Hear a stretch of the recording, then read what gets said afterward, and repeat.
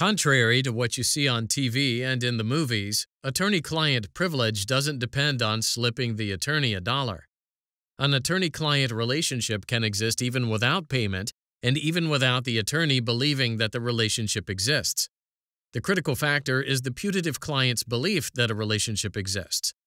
However, as seen in re grand jury subpoena under seal, a client's belief must be both sincere and objectively reasonable.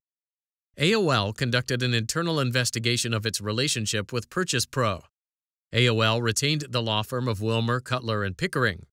Attorneys from the firm, along with AOL's general counsel, separately interviewed three employees Kent Wakeford, John Doe 1, and John Doe 2. Prior to the interviews, the attorneys informed the employees that they represented the company. They explained that the conversations were privileged, but that the privilege belonged to the company, which could waive it. The attorneys told Wakeford that they could represent him if no conflict existed. They told John Doe's 1 and 2 that they, quote, can represent you, unquote, unless a conflict appeared. The Securities and Exchange Commission then began an investigation of AOL's relationship with PurchasePro. AOL and Wakeford, represented by his own attorney, entered a common interest agreement. The parties acknowledged that their clients had common interests and that sharing certain documents would be mutually beneficial. The agreement stated that disclosure of such documents wouldn't constitute a waiver of any privilege.